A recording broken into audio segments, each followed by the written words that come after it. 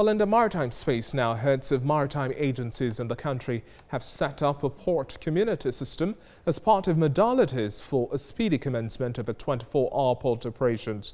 The Director General of the Nigerian Maritime Administration and Safety Agency, Bashir Jamoh, made the disclosure while briefing the media at the end of the monthly meeting of chief executives of maritime parastatals convened at the NIMASA headquarters in Lagos. TVC News maritime correspondent Ifunanya Eze has the details now. This is the second in the series of the monthly meeting by heads of maritime parastatals in Nigeria.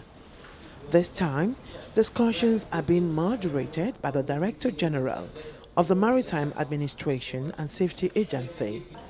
Issues on the center stage include maritime safety, port efficiency and intermodal transportation, among others. And the ongoing synergy is expected to impact port business and yield positives that will bring about efficiency in the country's ports.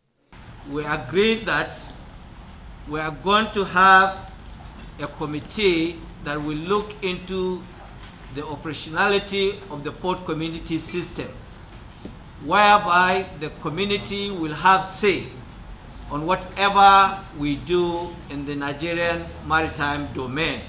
The heads of the Nigerian Ports Authority and the Nigerian Shippers Council also underscore the importance of deploying a holistic approach in tackling endemic problems in the nation's ports. If Nigerian Port Authority and indeed all stakeholders and the federal government does not consciously understand the need to efficiently deploy intermodal transportation system, that gridlock would remain. Some of the key issues we discussed with NIWA today is the need to have um, expansive utilization of the inland waterways. Uh, we have certain consignees that have an average of a thousand containers coming to the port every month.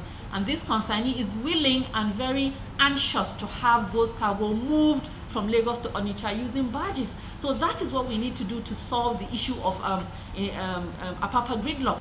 If we de deploy uh, uh, barges, it means about 100 trucks are also off the road. So the chaos, uh, the so-called gridlock, you know, is a function of inefficiency and lack of planning. But uh, here we are having synergy. All the three uh, modes of transportation will be deployed effectively. The idea of rolling out a port community system is to enable a digital port system that will drive automated operations in Nigeria's seaport with a view to reducing too much human contact, port inefficiency, and cost in the nation's seaports. Ifunanya Eze, TVC News, Lagos.